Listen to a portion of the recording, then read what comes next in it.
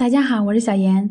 今天用小米来给大家分享一个您从来没有吃过的做法，做法简单，香脆好吃，快一起来看看吧。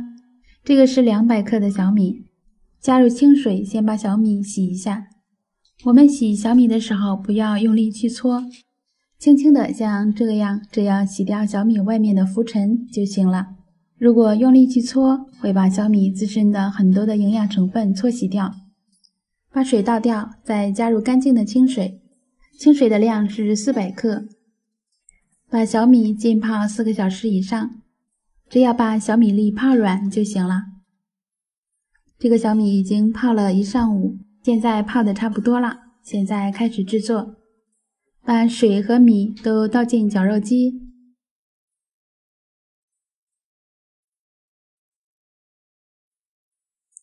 盖上盖子，把小米打成米浆。我们在制作的时候一定要把小米泡软，这样打的时候就很容易打碎。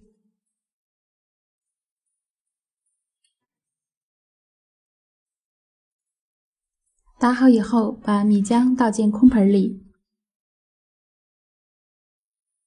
加入两克的酵母粉，一克小苏打，用筷子搅拌均匀。指酵母粉融化，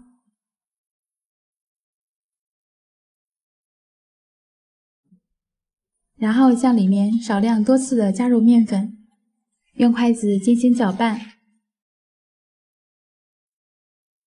一直搅拌至像这样比较粘稠的糊状。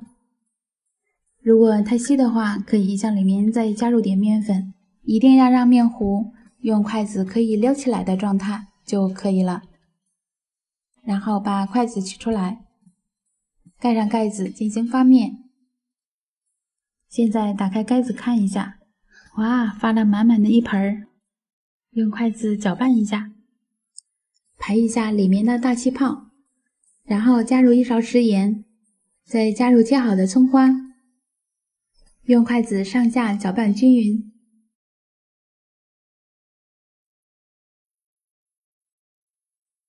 可以用筷子轻松的夹起来，这样就可以了。锅中烧油，用筷子试一下油温，可以有密集的小泡泡出现，这样油温就行了。可以用一个小勺子，上面沾上食用油，筷子和勺子两个合作，把面糊撩起来，一次性不要盛的太多。然后把面糊放入油锅里面，下入锅中的时候一定要轻轻的，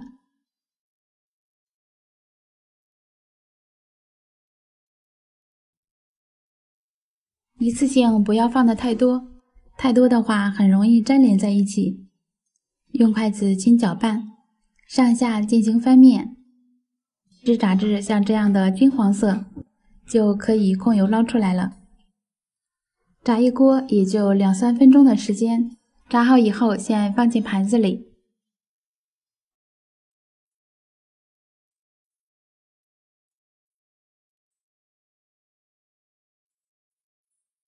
全部都炸好以后，捏一下看看，非常的酥脆，而且非常的蓬松，这个比油条要简单好吃多了，既可以当零食，又可以当早餐。如果当早餐的话，面糊可以提前一晚上放在冰箱冷藏发面，第二天早上直接拿起来就可以炸，这样非常的省事儿。喜欢的朋友一定要收藏起来试一试哦。今天就分享到这里，我们下一个视频再见。